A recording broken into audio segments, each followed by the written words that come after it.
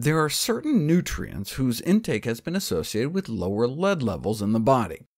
For example, women with higher thiamine intake, vitamin B1 intake, tended to have lower blood levels, the same with lead-exposed steelworkers. Fiber and iron intake were also associated with lower lead levels in the body to a lesser degree. The thinking is that the fiber might glom onto the lead and flush it out of the body, and the iron would inhibit the lead absorption, whereas the thiamine may accelerate lead removal through the bile. Thus, they suggest eating lots of iron, fiber, and especially thiamine-rich foods may induce rapid removal and excretion of lead from the tissues. But thiamine's never been put to the test, where you know you give people thiamine and see if their lead levels drop.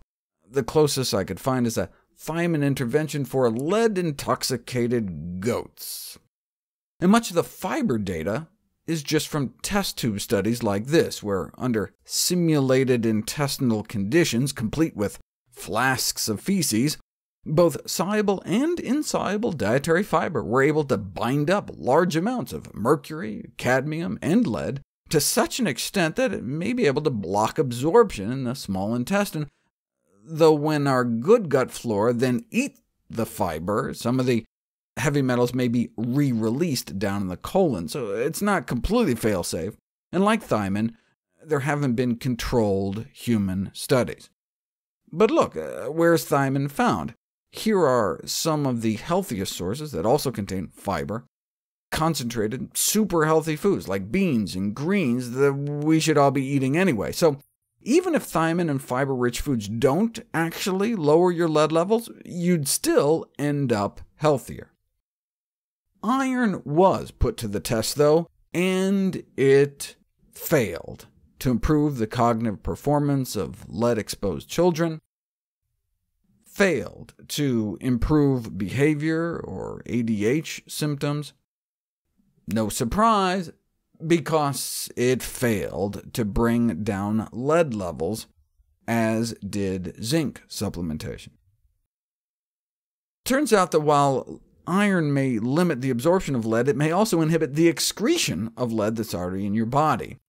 And iron may not even inhibit lead absorption in the first place. That was based on rodent studies, and it turns out we're not rodents.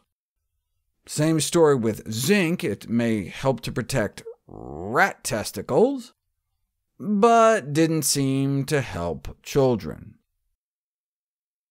Nevertheless, iron is routinely prescribed in children with lead poisoning. Given the lack of scientific evidence supporting the use of indiscriminate iron supplementation in children with lead poisoning, its routine use should be re-examined. Though obviously if you have iron deficiency, supplementation may help.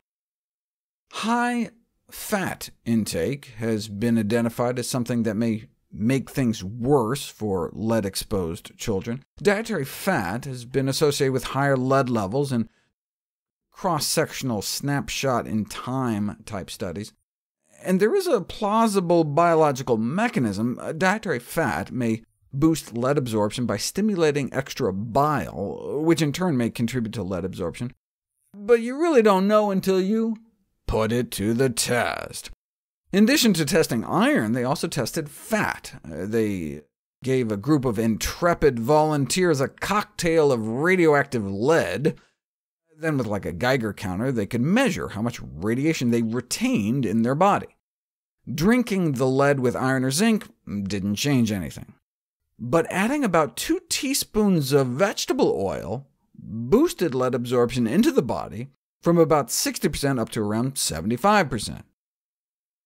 The only thing that seemed to help dropping lead absorption down to about 40% was eating a light meal with the lead drink. What was the meal? Coffee and a donut. I think this is the first donut intervention I've ever seen with a positive outcome. Could it have been the coffee? Unlikely, as if anything, coffee drinking has been associated with a tiny increase in blood levels. If fat makes things worse, and the one sugar they tried didn't help, they figured it was just eating food, any food, uh, not taking in lead on an empty stomach that made the difference. And indeed, if you repeat the study with a whole meal, lead absorption doesn't just drop from 60 down to 40%, but all the way down to just 4%. That's extraordinary. That, that means it's 15 times worse to ingest lead on an empty stomach.